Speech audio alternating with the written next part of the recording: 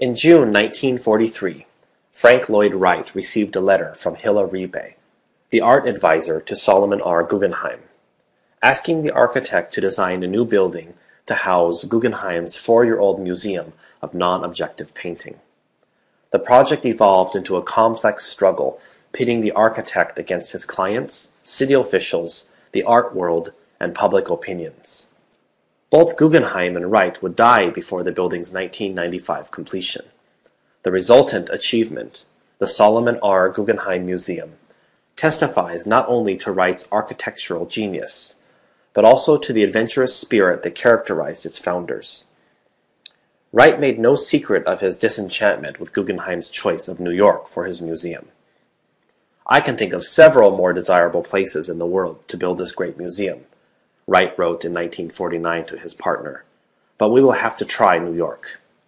To Wright, the city was overbuilt, overpopulated, and lacked architectural merit.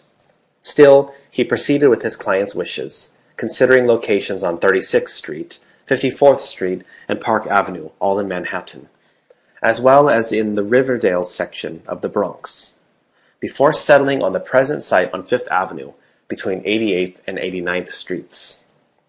Its nearness to Central Park was key. As close to nature as one gets in New York, the park offered relief from the noise and congestion of the city. Wright's design put his unique stamp on modernist architecture's rigid geometry. The building is a symphony of triangles, ovals, arcs, circles, and squares. The delicate vision took decades to be fulfilled.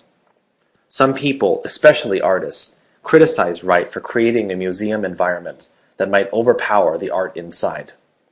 On the contrary, he wrote, it was to make the building and the painting an uninterrupted, beautiful symphony such as never existed in the world of art before.